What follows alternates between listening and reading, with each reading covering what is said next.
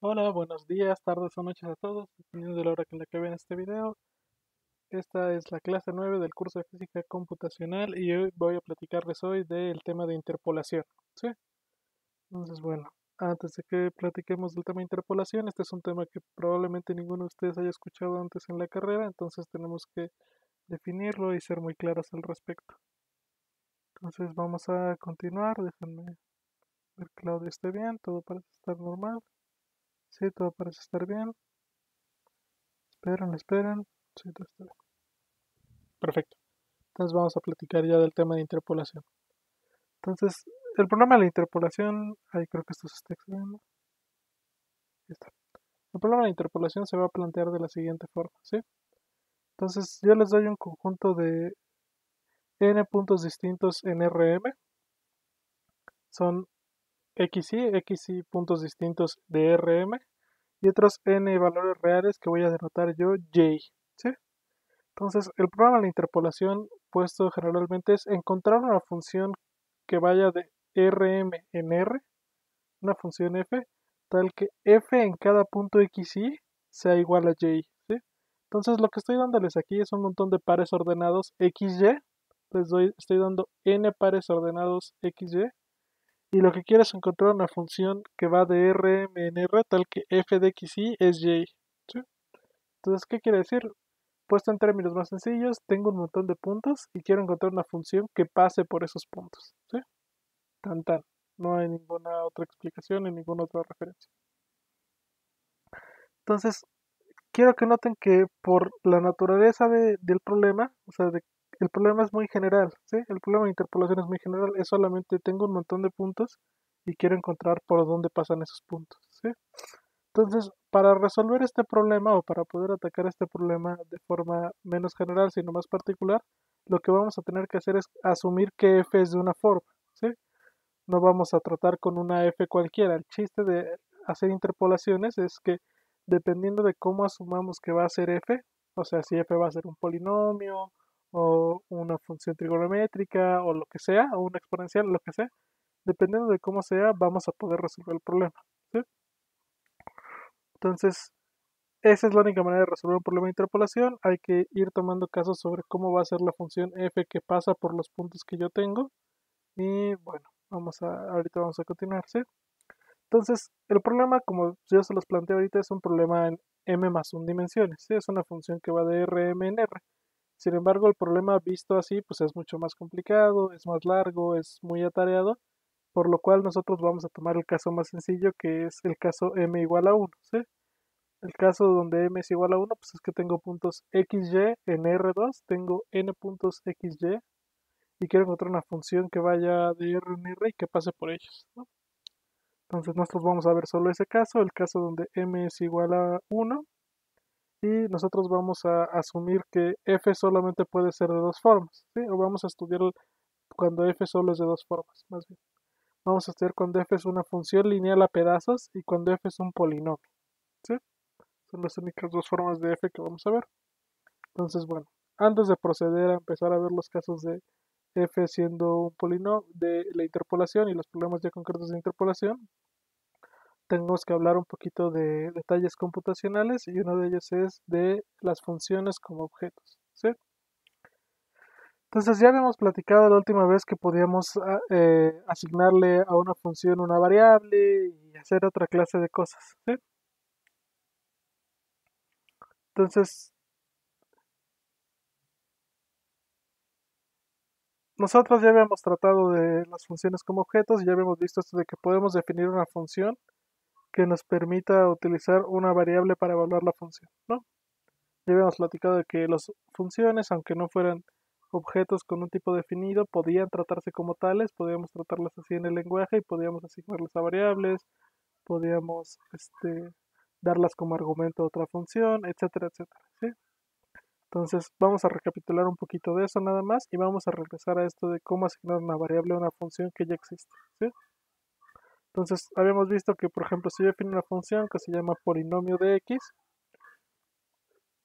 y lo que vamos a hacer es que esta función polinomio de x me va a regresar 3 por x al cuadrado más 4. Entonces, corro esta celda y la defino y funciona. ¿sí? Tanta, ahí está. Luego defino nuestra, vamos a ya definir la función polinomio, pues voy a imprimir cuánto vale polinomio 9. Luego a la variable f le voy a asignar la variable polinomio, que lo que va a decir esto es, como yo puedo tratar esta función como un objeto, le voy a decir a, la variable f asignale lo que esté en la variable polinomio, que es esta función, ¿sí? Trato la función como si fuera un objeto. Y tanta. Hago eso y cuando le pido que me diga quién es f de 9, me va a imprimir el mismo valor que antes, ¿no? Entonces, obviamente podemos hacer esto analítico. 9 al cuadrado va a ser 81, por 3 es 243, más 4, 247. Entonces polinomio de 9 y, f de 9 debería ser 247. Ahí está, ¿no? Los dos valores son iguales.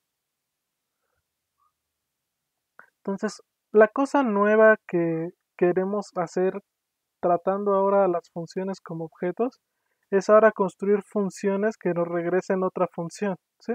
Si quieren esto podemos aquí hacer un énfasis más grande, ¿no? Ya hemos hablado de que las, bueno, las funciones con las que tratamos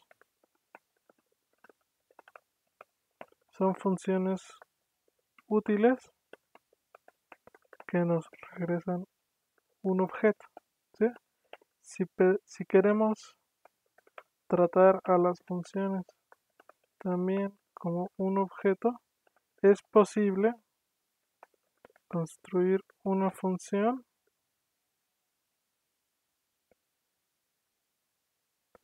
así que no es posible construir funciones que regresen otra función entonces si ya vimos que yo puedo tratar una función como un objeto y lo puedo asignar como una variable etcétera etcétera entonces también podría yo construir en principio una función que me si las funciones regresan un objeto yo podría, y ya ve que las funciones también las puedo tratar como un objeto con un tipo definido. Un objeto que vamos a añadir con un tipo definido. Entonces vemos que las funciones con las que tratamos son funciones útiles que nos regresan un objeto con un tipo definido. Si queremos tratar también las funciones como objeto, es posible construir funciones que regresen otra función. Entonces ya vimos que eh, como las podemos tratar como objeto, podemos, vamos a construir funciones que nos van a regresar otra función como objeto. Entonces vamos a ver el ejemplo más sencillo de eso, que es esta función que está aquí, que se llama recta. Entonces, ¿qué va a hacer esta función recta que tenemos acá? La función recta lo que va a hacer es que va a tomar como argumento la pendiente m y la ordenada al origen b, tal que, ¿qué pasa? Que me va a regresar el objeto de la función gdr, va a regresar esta función recta, me va a regresar otra función que tiene pendiente m y ordenada al origen b, ¿sí? O sea, la función recta de MB lo que va a regresarme en lugar de un número o un este o un arreglo o lo que sea es que me va a regresar otra función. ¿sí? O sea, la función recta lo que me va a regresar es otra función tal que la función que me regresa es esta g de x que es mx más b.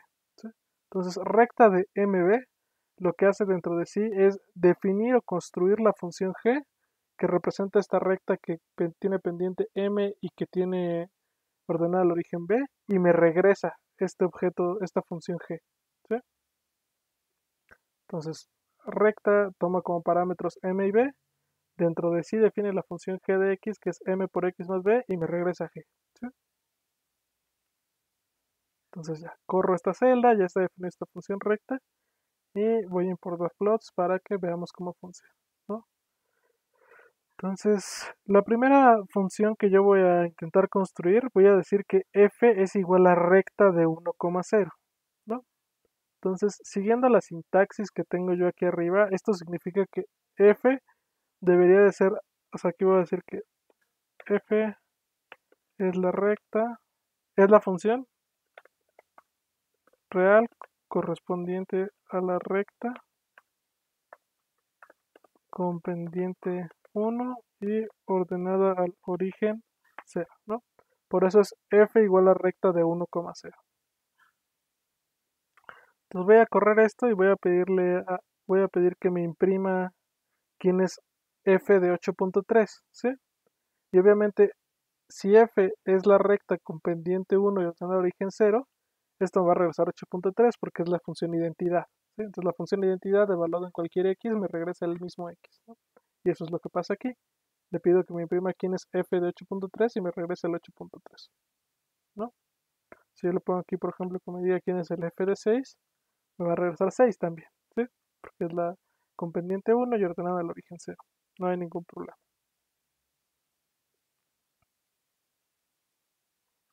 Entonces, ¿qué pasa si ahora, por ejemplo, intento con una recta intento construir la función o le asigno a f el objeto recta 2,4, que obviamente recta 2,4 sería la recta con pendiente 2 y ordenada al origen 4. Si hago f igual a recta de 2,4 y después veo cuánto vale f de 3, eso me debería de dar 10. Pues vamos a probarlo y vamos a ver que eso sí funciona. Ahí está. f de es igual a recta 2,4 y f de 3 en efecto me regresa 10. Entonces, solo para recapitular un poquito, quiero que vean que para construir una función que me regresa otra función, ¿qué hago? Pues defino la función que voy a querer, dentro de ella vuelvo a poner esta cosa de function, dentro de ella vuelvo a construir la función que quiero y al final la regreso. Entonces es simplemente hacer una función tal que dentro de ella define otra función que es la que regresa. Ya vemos que eso tiene cierta utilidad, que es la utilidad que está aquí, etcétera, etcétera. Todo esto se logra porque tratamos esta función g como un objeto con un tipo definido y lo puede regresar a esta función recta. Entonces, bueno. ¿Qué quiero que hagan ustedes ahorita? Pues lo primero que tienen que hacer ustedes, o lo que tienen que hacer ustedes a partir de esta función, que estas funciones que me pueden regresar a otra función, lo primero que quiero que hagan es que escriban una función cúbica que tome como argumentos tres valores el A0, A1, A2 y A3 que regrese una función f que corresponda a esta función, ¿sí? A f de x es igual a a3 por x cúbica más a2 por x cuadrada más a1 por x más a0, ¿sí? Entonces esto es exactamente igual que lo que hicimos acá, solo que la función que va a regresar ya no es una recta, sino es esta función cúbica, ¿sí? Ya no tienen dos parámetros, sino ya tienen cuatro. Entonces debe ser muy parecido, no se compliquen, sigan ese esquema. Por otro lado, quiero que también escriban una función que se llame trigonométrica, que tome como argumento K1, W1, K2 y W2, y que regrese una función g que corresponde a esta función, ¿sí? g de x es seno de x K1x más, más W1 más coseno de K2x más W2, ¿sí? Y ya después quiero que en una sola figura hagan la gráfica de la función para distintos valores de K1 y W1 utilicen el atributo legend de las funciones para que lo podamos distinguir. Acuérdense que cómo utilizar y cómo hacer esta clase de gráficas bonitas está en el tutorial de plots. Entonces, bueno, eso es lo que corresponde a las funciones como objetos. Ya habiendo visto esto y ya que hayan hecho estos ejercicios y ya sepan cómo hacer funciones que regresan a otra función, ¿por qué necesitamos hacer por qué les enseñé esto? Pues bueno, pues porque ahora que vayamos al problema de la interpolación, van a ver que lo que yo voy a pedirles que sus funciones de interpolación hagan es que nos regresen la función interpolante, ¿sí? O sea, sus funciones de interpolación van a tomar las x, van a tomar las y y me van a regresar la función que yo quiero que interpole entre esas x y esas y. Y pues para hacer eso tienen que saber cómo hacer funciones que regresen funciones, ¿no? Entonces, bueno, ya concluido eso, ahora sí ya vámonos a la parte de interpolación. Entonces, ahora sí ya vamos a ver lo que es la interpolación lineal a pedazos. Entonces, para todo lo que vamos a, seguir a continuación, vamos a suponer que tengo un conjunto de n mayúscula puntos x, y, y. Voy a suponer además que todos los valores de x, y son distintos, o sea que no hay un par de x, y, hay un x, y, xj que sean iguales, eso no hay, todos son distintos. Y que están indexados tal que para toda i, x, y es más chico que x, y más 1, ¿no? Entonces, ese es mi, mi, punto base. Tengo n puntos x, y, y, están ordenados en la X y busco una función f que va de reales en reales, tal que f de x y es igual a y. Tan tan. Así de simple se ve. Entonces, en la interpolación lineal a pedazos, ¿qué voy a hacer con esta función f? ¿O cómo voy a suponer que es esta función f? Pues lo que voy a hacer es que voy a suponer que f es una función, como bien dice, pues lineal a pedazos. Y que también que también es continua, ¿sí? Así que en lugar de que también, pedazos continua, ¿sí? sea, voy a suponer que esta función f es una función lineal a pedazos continua.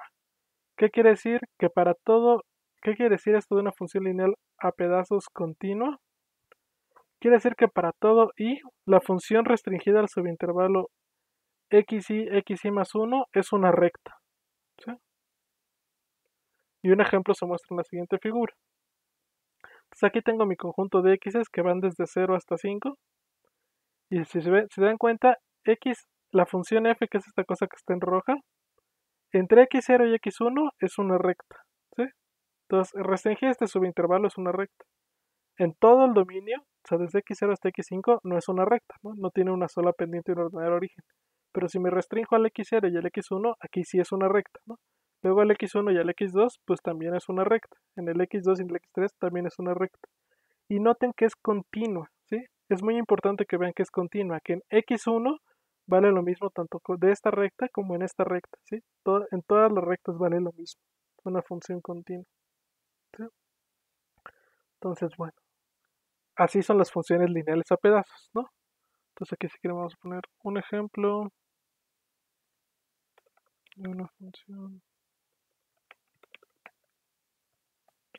lineal a pedazos se muestra en la siguiente figura. Este es un ejemplo. Yo puedo también definir otra función lineal a pedazos como una función triangular. ¿sí? Ahorita esto lo voy a correr, va a tardar un poquito en hacerse la gráfica, así que voy a pausar el video. Ya, una disculpa. Aquí está. Esta es otra función lineal a pedazos. ¿sí? Vamos a salirnos un poquito de el zoom para que lo puedan ver mejor. Entonces, aquí igual es una función lineal a pedazos, ¿no? En el intervalo menos 3, 2 es una recta, en el menos 2, menos 1 también es una recta y es continua en todos los puntos, ¿sí? En todos los puntos donde cambia, en el menos 3, en el menos 2, menos 1 es continua. Vale lo mismo en esta recta que en esta recta. ¿Sí? Entonces, estas son las funciones, las funciones lineales a pedazos, las que son un montón de rectas en subintervalos que están unidas, ¿sí? Y acuérdense, son continuas. Es muy importante que recuerden que son funciones continuas. Entonces, bueno, para construir la función f que va a, que va a interpolar, que va a interpolar o a pasar por todos los x y y dados, la manera más fácil de construir, la manera más sencilla y general de, de construir la función f es construirla a partir de algo que se llaman un conjunto de funciones base. Las funciones son las funciones fi y hay desde i igual a 1 hasta n. ¿sí? Hay n funciones distintas. ¿sí? Si quieren, aquí hay que ser más explícitos con esto.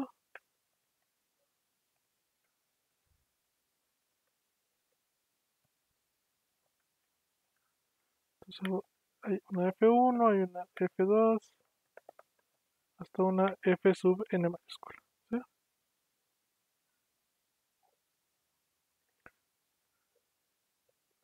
Cada FI va de R a R es una función a pedazos y cumple una propiedad muy importante. Entonces esa propiedad importante es la que tengo aquí abajo, déjame la replico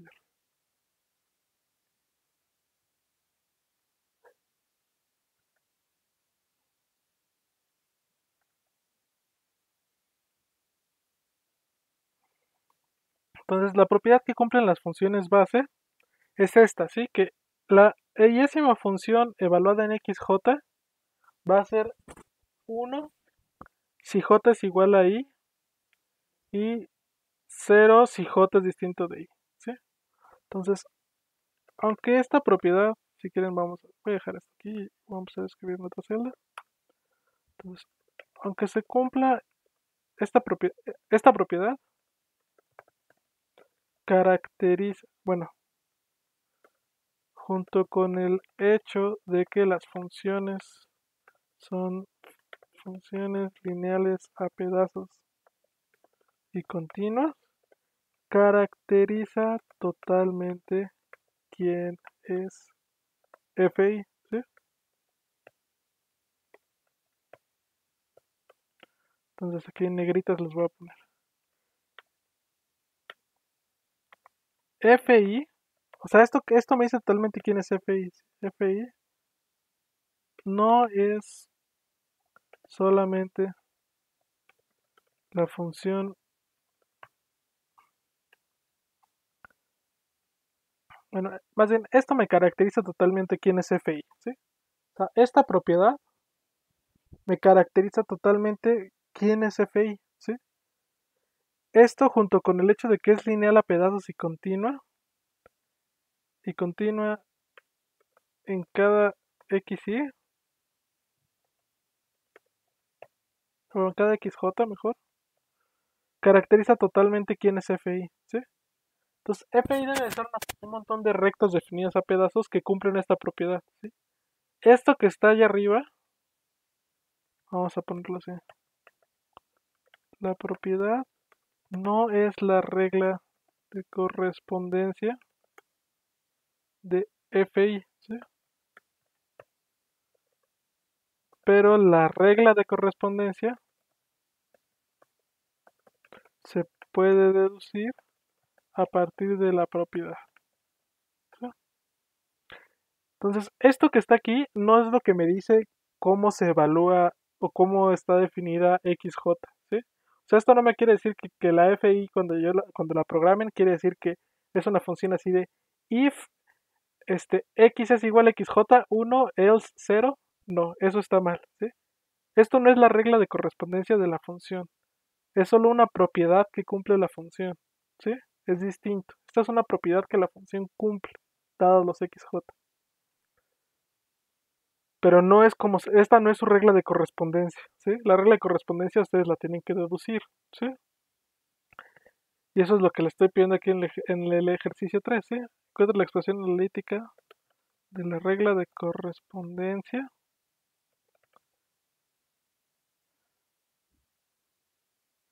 Más bien, encuentra la regla de correspondencia de la función lineal a pedazos fi que cumple la propiedad que les puse, ¿no? Entonces, esto debe ser obviamente, esto es un ejercicio analítico, ¿sí? Analíticamente, o sea, sin programar nada, tienen que encontrar la regla de la función lineal a pedazos que cumple esta propiedad, ¿no? Entonces, obviamente, ¿cuál es la sugerencia más más inmediata o la sugerencia 1. La sugerencia más inmediata es que fi de x va a estar definida a pedazos, ¿sí? Sea como sea, tiene que estar definida a pedazos porque estas son un montón de rectas definidas a pedazos, ¿sí? Aquí es una recta, aquí es otra, entonces como va a ser de ese estilo, tiene que estar definida a pedazos, ¿sí? Y además de eso, además de que va a estar definida a pedazos, los casos igual a 1 y igual, e igual a n van a ser más, más difíciles de, implementar o van a tener una regla distinta a todos los demás. ¿sí? Para los, las funciones de las orillas va a ser distinto. Ahora, ya siendo más concreto, ¿cómo deben de ser las funciones? Las funciones tienen que ser de esta forma. ¿sí? Las funciones que van a tener van a ser más o menos de esta forma. Va a venir así, en x3 va la función va a valer 1 y esta es f3, ¿no? Viene en todos lados, en x3 vale 1 y vale 1 y es así, ¿no? Luego x4 es igual, es 0 en todos lados, pero en f4 vale 1. Y en todos lados es una recta. ¿sí? En todos lados es una recta. Entonces tienen que deducir la regla de la función. ¿Sí? Denme un minuto, por favor.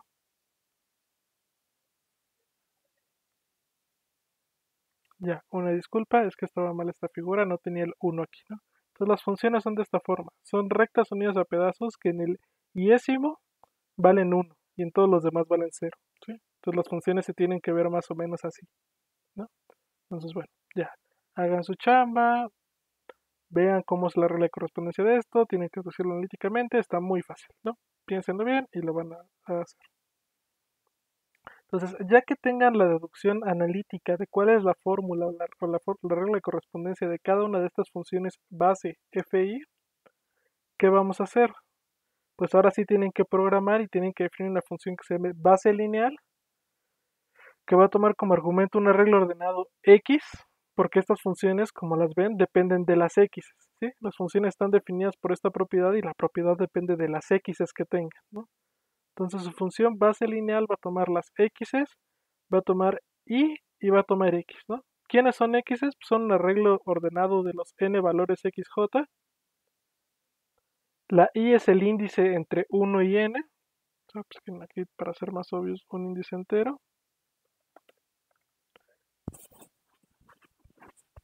Y x es un número real. x simplemente va a ser un número real.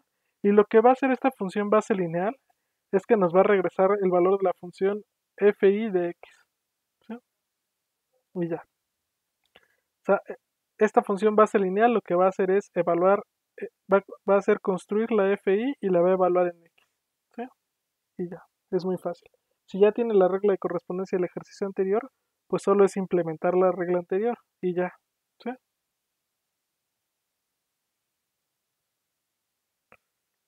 Si quieren aquí voy a añadirle la dependencia en x.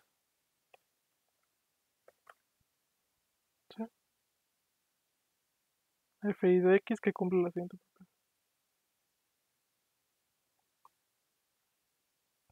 Entonces, bueno, la primer, el ejercicio 3 es hacer la parte teórica, el ejercicio 4 es hacerla ya en la programación. Entonces, ya que tengan, ya que ya conocen quiénes son las funciones fi y la función f, ustedes ahora ya pueden definir lo que va a ser la interpolación lineal a pedazos, la f normal ya sin índice, y quién va a ser esa función. Esa función va a ser f de x igual a la suma desde i igual a 1 hasta n de y multiplicada por fi de x. Entonces, claramente ya que la condición de que fi en xj es 1 si x es, si j es igual a i o 0 en otro caso, o sea, es una delta de Kronecker, la función que está aquí va a cumplir que f de xj es igual a yj. ¿sí? E, esta función va a pasar por los puntos deseados porque cuando tengamos f de xj, aquí todos se van a hacer 0 excepción del fj, que se va a hacer 1 por construcción de la función y eso va a valer yj.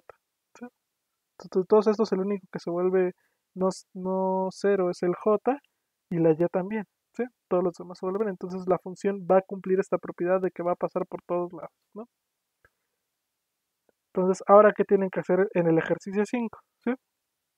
Entonces, el ejercicio 5 ahora se trata de que ya definen ustedes programando una función que se llame interpolación lineal, que tome como argumento los valores x de las xy, los valores y de las y y que regrese la función f de x.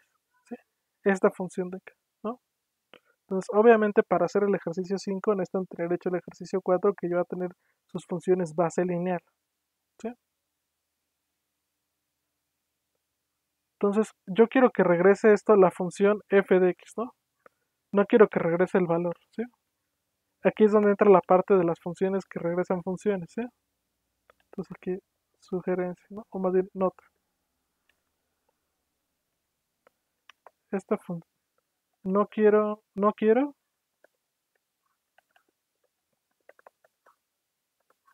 Función. No quiero que, vamos a escribirlo completo, ¿no? interpol lineal regrese un número. Quiero que regrese el objeto de la función f.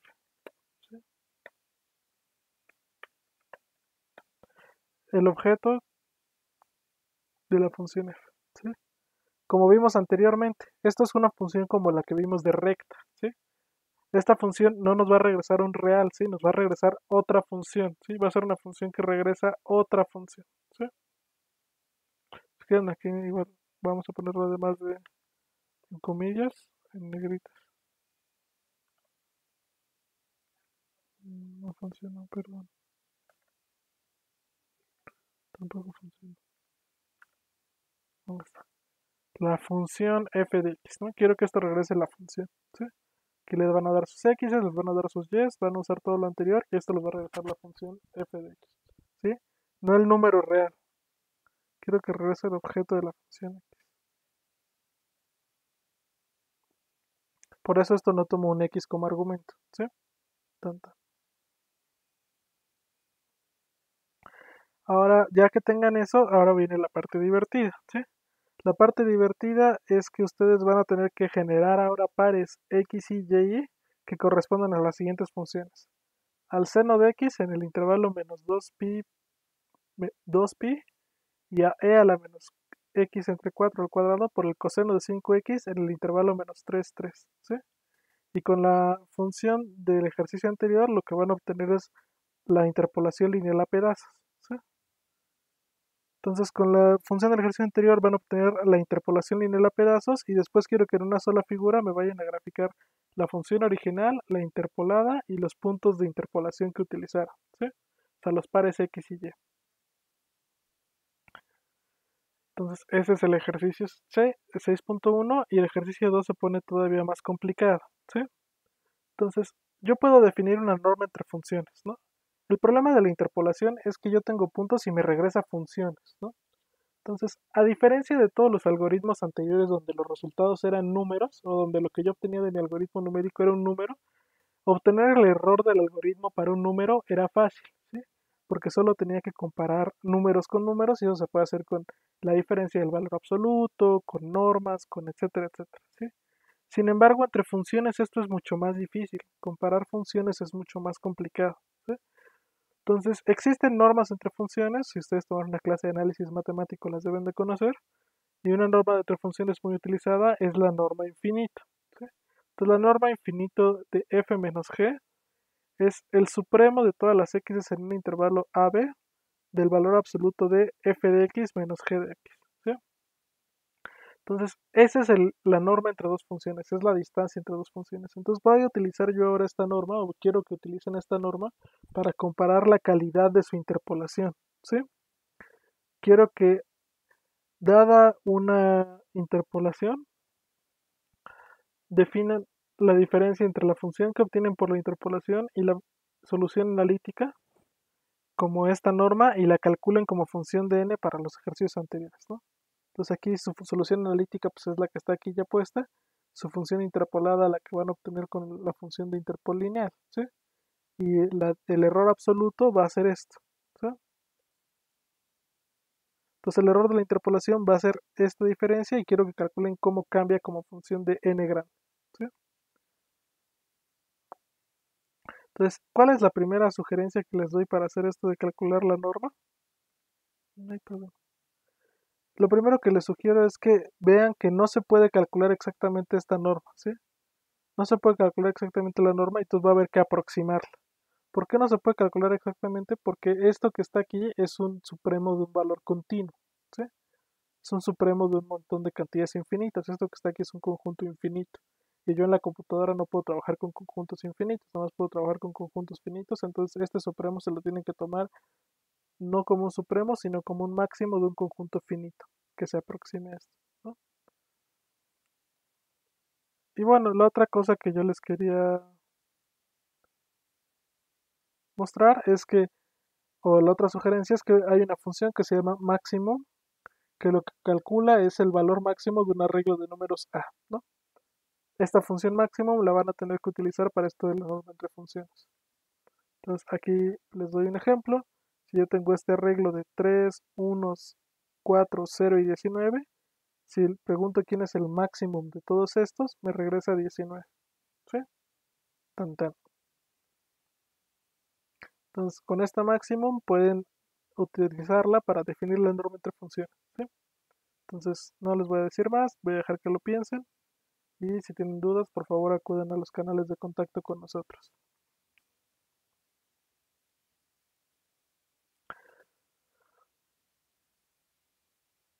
Por último, el ejercicio 7, que es el ejercicio quizás más complicado o más larguito de todos estos, es que sin utilizar las funciones base, sin utilizar las FI que les enseñé anteriormente, simplemente de la definición de interpolación lineal a pedazos, quiero que encuentren la forma explícita que debe tener la función interpolante f.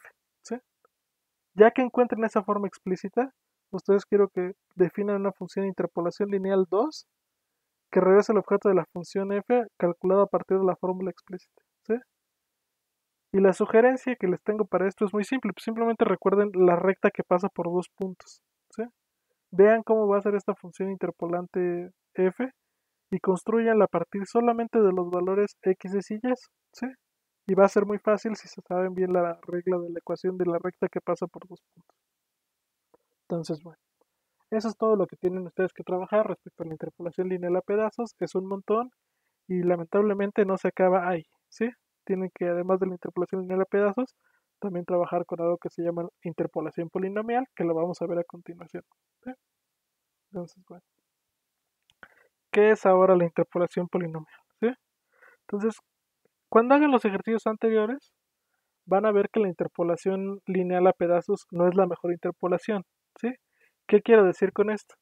Que cuando hagan este ejercicio de que tomen puntos sobre funciones y vean si se parece la función que interpola por esos puntos y la función original, van a ver que no se parece.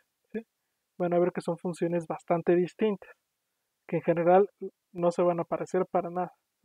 Y tiene sentido, porque imagínense, aquí van a tener un montón de rectas unidas y eso no se parece para nada a la función sen. La función sen es una curva, está mucho más curveada no es un montón de rectas y ya. Entonces, la interpolación lineal a pedazos en general no es la mejor interpolación, ¿sí? Es la más rápida de hacer, sí, la más simple de entender, pero no es la mejor. Entonces, lo que conviene es que en lugar de utilizar una función lineal a pedazos como funciones base, lo que vamos a utilizar en lugar de eso sean polinomios. En lugar de construir que nuestra función interpolante sea una lineal a pedazos, ahora quiero que sea un polinomio. Entonces, siguiendo el esquema de la construcción a partir de funciones base, lo que, lo que vamos a hacer ahora es cambiar de base a una que no es una base de funciones lineales a pedazos, sino de polinomios.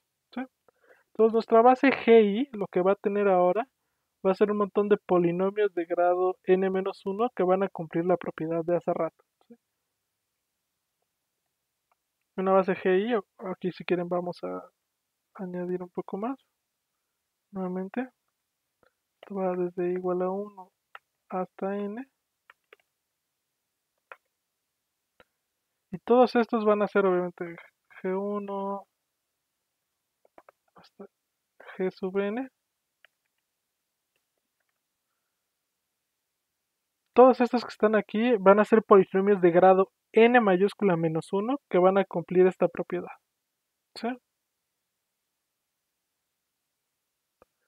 Entonces, Nuevamente, esta propiedad no es su regla de correspondencia, pero nos permite tener una idea para definirlo.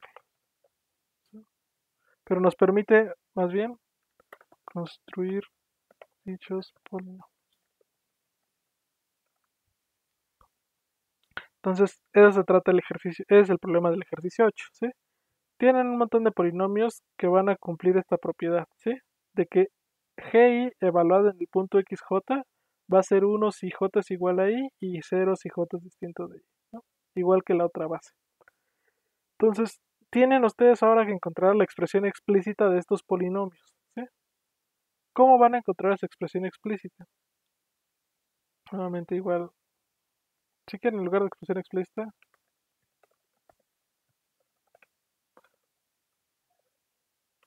la regla de correspondencia analítica de los polinomios GI. Entonces, mi sugerencia es que recuerden que GI va a ser de grado n-1, ¿sí? De grado n mayúscula menos 1 y piensen cómo tiene que ver esto con cómo se factoriza un polinomio, ¿sí? Tienen que pensar de forma muy algebraica. ¿Cómo pueden factorizar un polinomio para que cumpla esta propiedad de que es 0 en todos los puntos y es 1 en 1? ¿Cómo tendría que ser? ¿Cuál sería su forma? Entonces, piensen eso, eh, rompanse la cabeza un rato porque no es tan fácil entenderlo. Y si no, pues simplemente búsquenlo, ¿no? Obviamente la interpolación de Lagrange está definida en todos lados y la pueden encontrar en libros y en Wikipedia y en muchísimos lugares.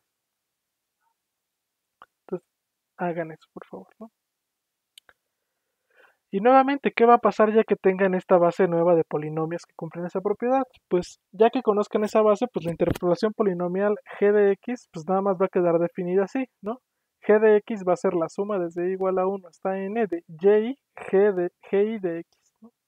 Y nuevamente por la propiedad de la delta de Kronecker, lo que van a tener es que la función g va a cumplir que gi, g de x y va a ser y, ¿no?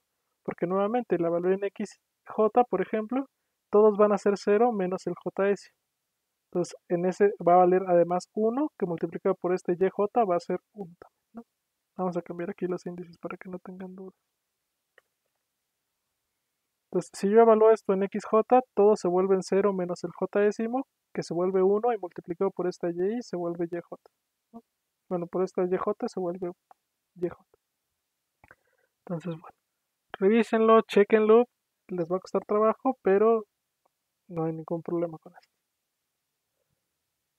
Luego tienen que hacer lo mismo, ¿no? Como están definidas igualitas estas funciones, ahora construyan una que se llame base polinomial, que les evalúe el polinomio. Nuevamente la base polinomial va a depender de los x, del índice y de una x, y que les regrese el valor de g y de x.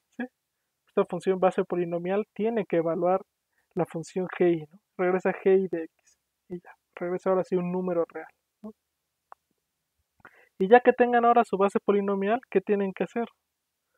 Tienen que ahora definir una función interpol, poly que lo que va a hacer es construir a partir del arreglo de x y de y que queremos interpolar la función correspondiente a la interpolación polinomial, ¿sí? Quiero que obviamente aquí también regrese la función, ¿sí? No que regrese un número real ni nada. Déjenme cambiar esto.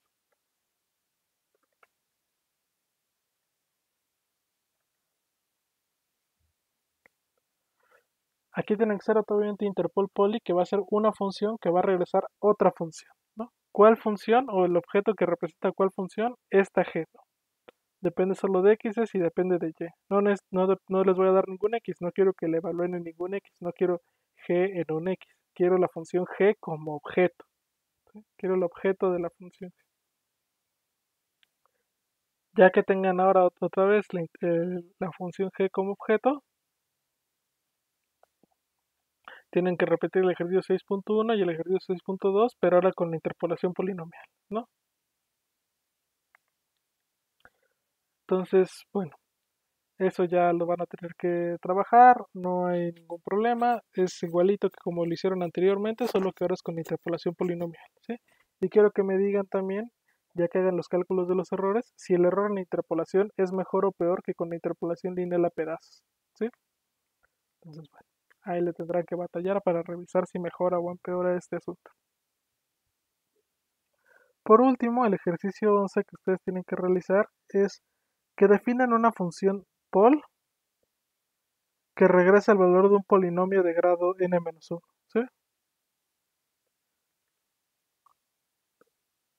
Este polinomio,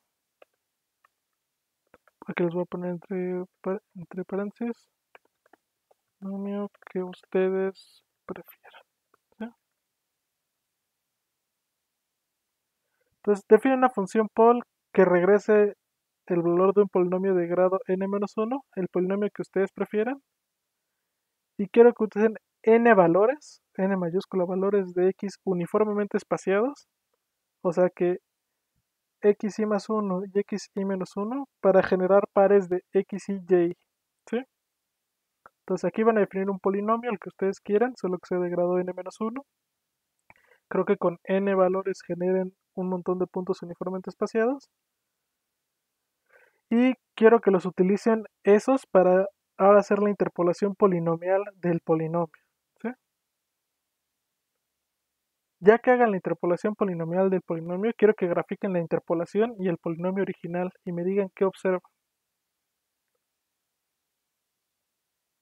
Lo que ustedes deberían de ver o lo que más o menos van a observar es que el polinomio original y la interpolación polinomial son igualitas, ¿sí? son muy parecidas. Y ya que vean eso, pues quiero también que investiguen en Wikipedia algo que se llama el teorema de interpolación de Lagrange, ¿sí? que es lo que le da fundamento algebraico a todo lo que estábamos haciendo anteriormente. Entonces, bueno, eso es todo lo que hay que hacer para esa parte. Y ahora ya viene la última parte del ¿sí? Ya, esto es lo que cierra la parte de trabajar con interpolación polinomial y con interpolación lineal a pedazos. Entiendo que esta parte es más difícil, es más confusa y cualquier cosa que tengan, por favor vengan con nosotros a las vías de contacto. Entonces, bueno, vamos a continuar y vamos a platicar de algo que ahora se llama la interpolación. Ah, bueno, el problema de la estabilidad, ¿sí? Que de estas interpolaciones. Entonces, aunque la interpolación polinomial van a ver ustedes que es mucho mejor que la interpolación lineal a pedazos, que es mucho más bonita y aproxima mejor las funciones, es muy inestable. ¿sí? Es muy, muy inestable. Para, para que se den cuenta de que es muy inestable, grafiquen una función original y su interpolación en un intervalo más grande que contenga el que usaron para interpolar, ¿no? Entonces tienen la x0 y la xn, que son los intervalos, perdón, aquí no es x0, esta es la x1. La x1 y la xn, que tienen el intervalo que utilizaron para interpolar, agárrense un intervalo más grande y grafiquen las dos, y van a ver que ahí ya no se parecen mucho, ¿sí? Ahí ya son muy distintas ambas funciones. Y esto se vuelve particularmente feo, las funciones se empiezan a volver muy distintas cuando x los x y están uniformemente espaciados. Si los x y están uniformemente espaciados, la interpolación va a tener un error muy grande. ¿no? Y eso lo van a ver ustedes ahorita experimentalmente. Si yo defino lo que se llama la función de Runge, que es r de x igual a 1 entre 1 más x cuadrado, y ustedes toman una partición regular del intervalo menos 1, 1 con n puntos para generar los pares x, y, y.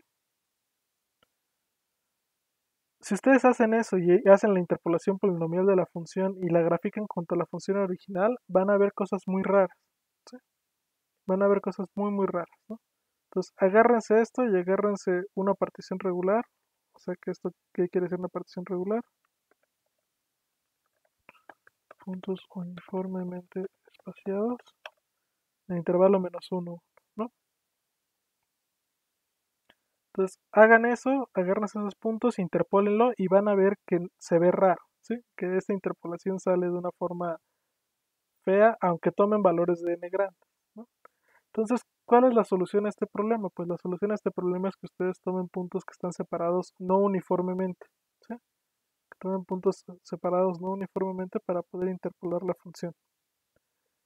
¿Cuáles son esos puntos separados no uniformemente? Pues son estos que se llaman los nodos de Chebyshev.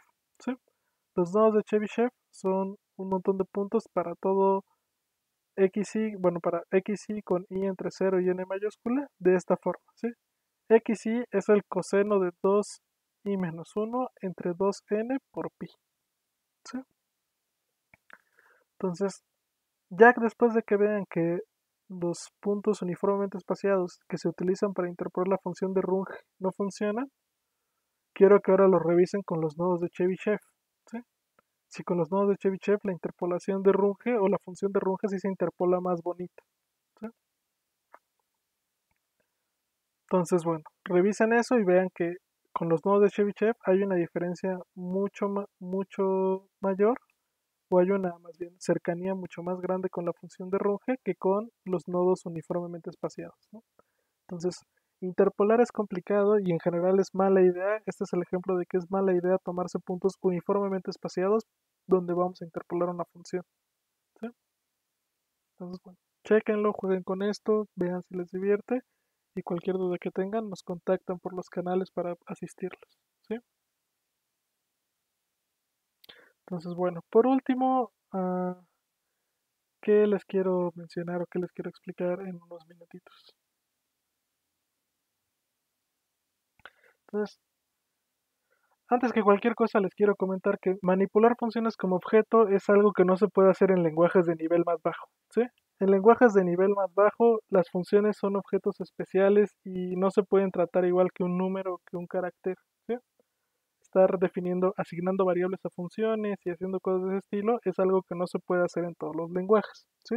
Solo se pueden hacer en algunos. Tanto Python y Julia te permiten manipular las funciones como objetos. Pero en general casi ningún lenguaje permite manipular las funciones como objetos. Son propiedades de los lenguajes de alto nivel. Entonces, cuando yo, eso es lo primero que quiero que vean. Otra cosa que quiero comentarles es que cuando les enseñé a graficar funciones, vieron que plot unía los puntos por rectas, ¿sí? Plot grafica un montón de puntos y los une por rectas. Y lo que está haciendo plot en realidad es que plot lo que les grafica de una función o de un montón de x y y es su interpolación lineal a pedazos. ¿sí? Plot hace interpolaciones lineales a pedazos. Simplemente lo que pasa es cuando yo tomo muchísimos puntos, la interpolación lineal a pedazos sí se parece muchísimo a la, a la curva de la función original, ¿sí? Han visto que graficamos con 200 puntos, 300 puntos y se parece muchísimo, ¿no? Y ese es el ejemplo más sencillo que se me ocurre de qué tan útil es la interpolación lineal a pedazos, ¿sí? Así, ese es uno de los principios o de los ejemplos más sencillos donde se utiliza. Pero a pesar de eso se utiliza en muchísimos lados la interpolación, se ve que es una cosa muy útil, ¿no? Las interpolaciones que yo les enseñé, la interpolación polinomial, la interpolación de Lagrange, son muy poco utilizadas. La interpolación de Lagrange es muy inestable, casi nunca se utiliza. Conforme tomamos todavía más puntos para interpolar algo, se vuelve todavía más inestable, entonces no es una buena idea.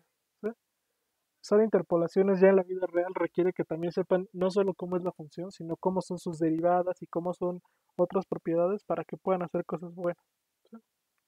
Entonces, existe algo que se llama las interpolaciones cúbicas a pedazos, o que les llaman en inglés cubic spline, tales que en cada subintervalo, es como una interpolación lineal a pedazos, pero en cada subintervalo las funciones son una función cúbica en lugar de una recta.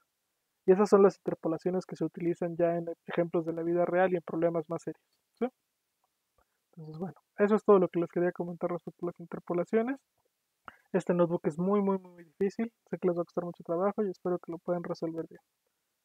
Cualquier duda, por favor, acuden a los canales de contacto. Muchas gracias, cuídense mucho, hasta luego.